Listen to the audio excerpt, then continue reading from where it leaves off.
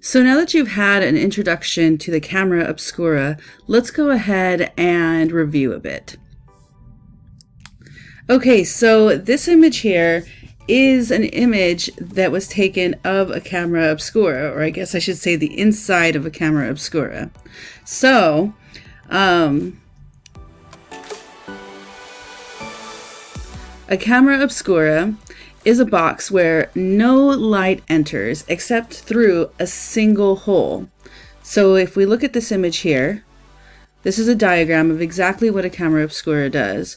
We have a box or a room um, that is completely dark with one hole in it and everything that is coming in is coming in through this hole and then projecting onto the opposite wall and on the opposite wall, what is outside is actually being projected upside down, just like up here.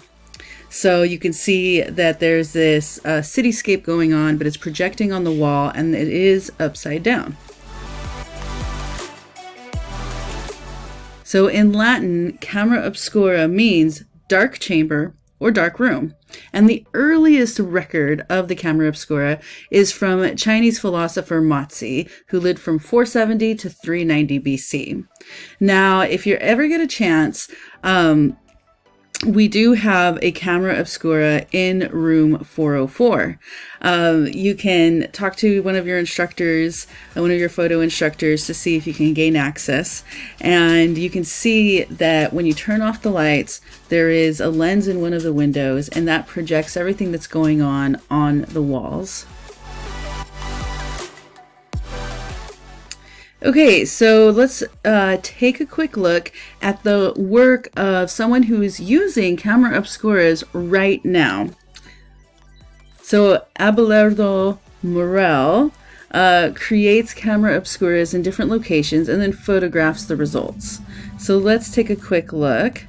So you can see here that it looks like maybe we're in some kind of, oh, it looks like a, in England where the image has been projected onto the wall and then he photographs that with another camera. Now, with this image, the the what's being projected is flipped upside down through a series of mirrors. This series of mirrors is also what's inside of an SLR camera, um, which allows us to be able to see an image upright within the viewfinder.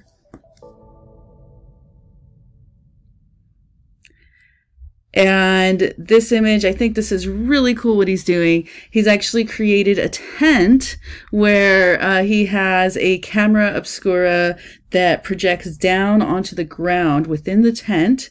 And then um, he has a series of mirrors that takes what's going on outside and then does the projection down on the ground. Beautiful work. And this last one is, you know, really wonderful. It's inside of a museum, so it's very, very meta, uh, referring back on itself and taking what's inside and projecting it indoors. Okay, so if you want to try this out, you totally can. Um, I've went ahead and added this link here on how to convert your room into a giant camera obscura. So if you want to try it out, go for it. All right, so next we are going to be looking at the events that led to the discovery of photosensitive chemicals. So, um, you know, this discovery of the camera obscura was the beginning of how photography came about.